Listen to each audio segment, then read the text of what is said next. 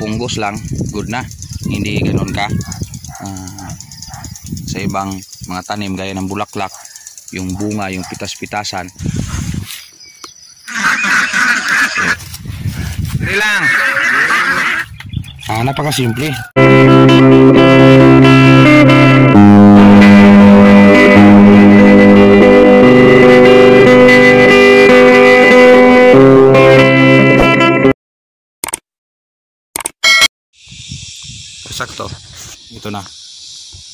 Tapos na mag pulverize. So, sa ngayon, ito yung ating finished product na kaka plat lang.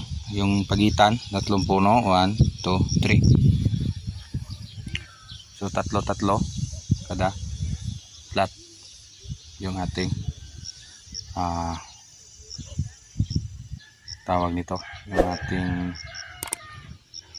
litos so tatluhan. Pagitan isa dalawa tatlo.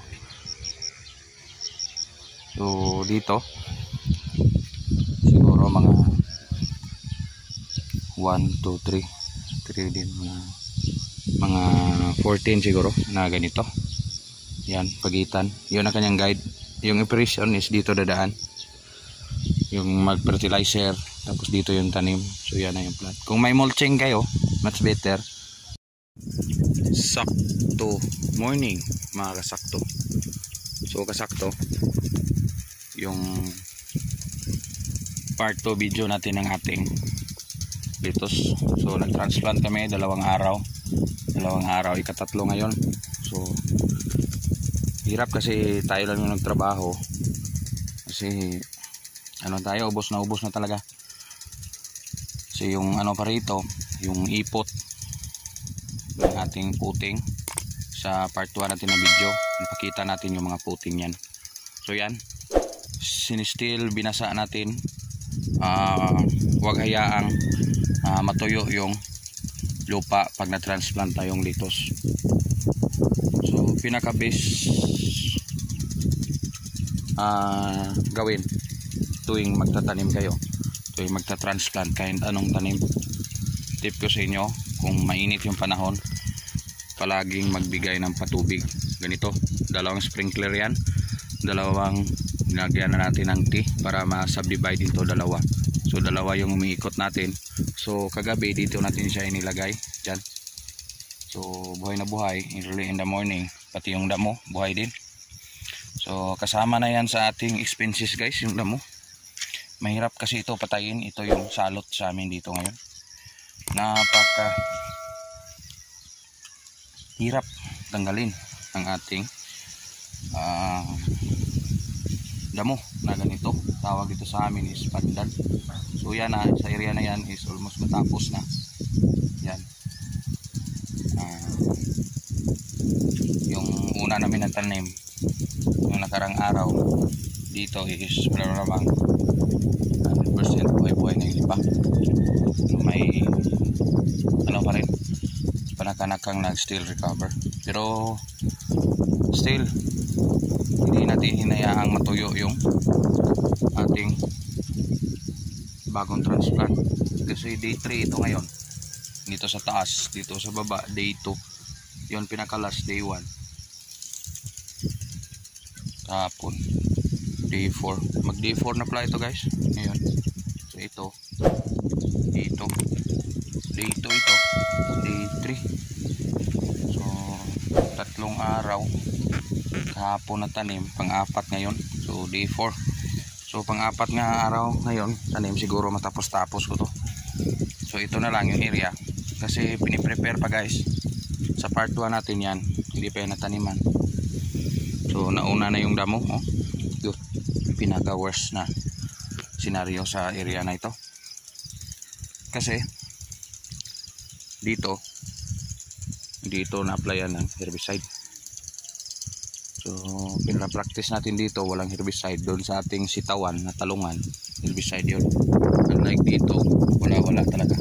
Mapansin yung mga damo sa gilid kung may pagkain lang ng hayop. Grabe ano? Yan. Ang rami ng ating uh, damo. So, dito din sa baba, yan o. So, yung damo, walang katulad yung damo. Singrami. Back tayo sa ating litos. Bakit ba natin ah, palaging binabasa? Again, paulit-ulit natin na video.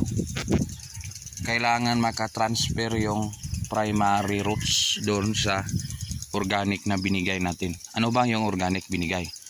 Nasa part 1 video, part 1, yung chicken manure. Chicken manure na tuyo, 100% tuyo, binasa lang kung gagamitin na. Pero nasa butas na, ganito yan, buhay na buhay na yan. Nag-transfer na yung ugat papunta kumain nun sa organic. Chicken manure, pwede bang gamitin kung bago? Advice ko hindi. Advisable sa chicken manure best result.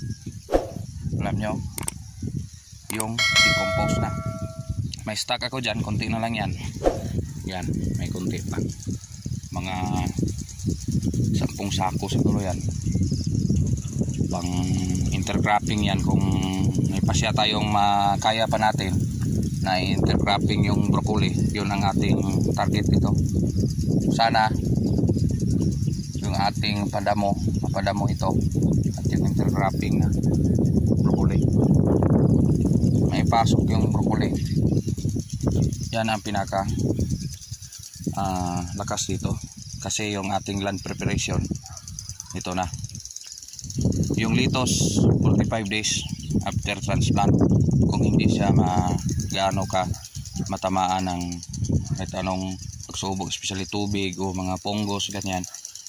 Constricted yung ano niya ah, pamarisan ng panahon yung panahon is nagano sa kanya nag ali, sumabay. 45 days or 40 may 38 days ako noon. Dito harvest agad. 38 dias yun sa mga previous video natin. Harvest na.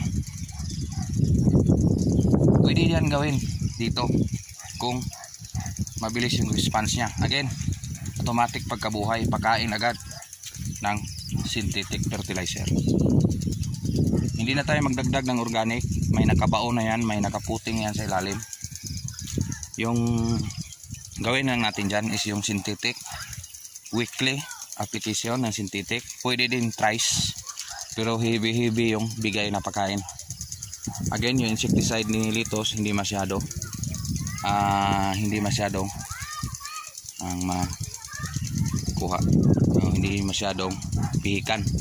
May pangpunggos lang good na hindi ganun ka. Uh, sa ibang mga tanim gaya ng bulaklak yung bunga yung pitas-pitasan napaka uh, ano yun.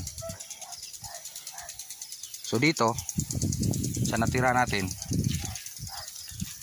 sana maka abot pa yan dito. Yan. tapos tapos yan dito hanggang doon hanggang doon pa na yung natira nating seedling. So nasa more or less nasa 3,000 pa siguro ito.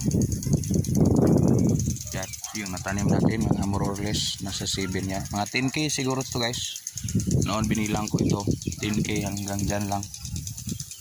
Yan pagitan yan 10k so mga ito mga 12 siguro. 12k na puno. So na-discourage tayo sa pagbigay ng tubo ng ating seedling pero na-encourage tayo pag ating kung mainit yung panahon kung anong hinihingi ng tanim ibigay nyo.